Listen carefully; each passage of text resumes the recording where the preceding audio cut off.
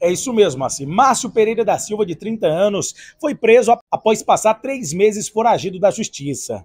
Ele é investigado por estuprar uma mulher em Xambioá. Segundo a Polícia Civil, ele foi encontrado em uma chácara de parentes que fica em Ponte Alta do Tocantins. O crime aconteceu no centro da cidade por volta das 1 hora e 55 minutos do dia 4 de maio.